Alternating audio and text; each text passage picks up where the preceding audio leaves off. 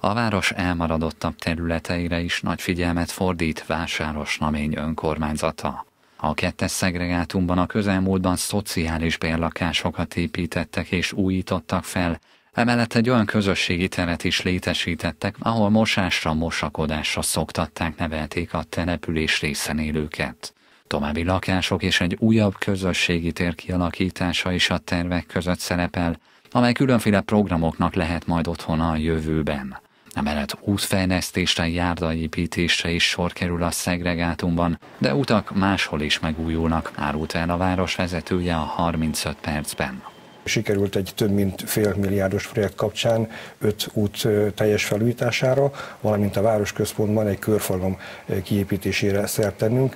Ez nagyon komoly hiánypótló feladat volt számunkra. Tudjuk azt, hogy a városban máshol is szükség és igény van még körforgalom kialakítására, hiszen a körforgalom egy olyan forgalomtechnikai eszköz, amely biztonságosabbá teszi a városon történő áthaladást, nem beszélve arról, hogy a gyalogosok is, hiszen két gyalogos áthelő kelőhely kiépítése is megvalósul, ők is nagyobb biztonsággal tudnak átadni majd a városközpontban A-ból B-be. A lakosoktól türelmet kérnek, remélik, hogy nyár végére már használhatják az új körforgalmat és a megújult Kossuth, Radnóti, Kölcsei és Árpád utat, amelyek egyébként a legnagyobb forgalmat bonyolítják a városban.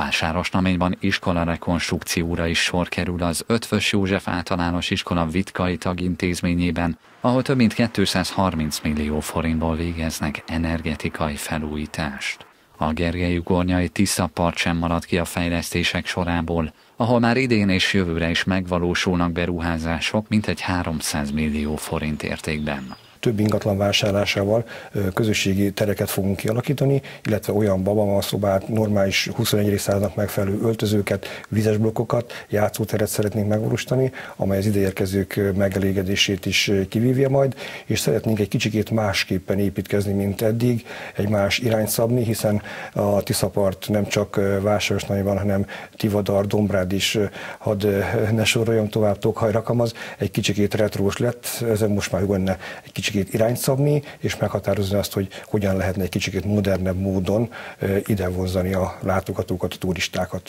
A polgármester hozzátette, új irányként fogalmazták meg a Tisza parton a családok megszólítását.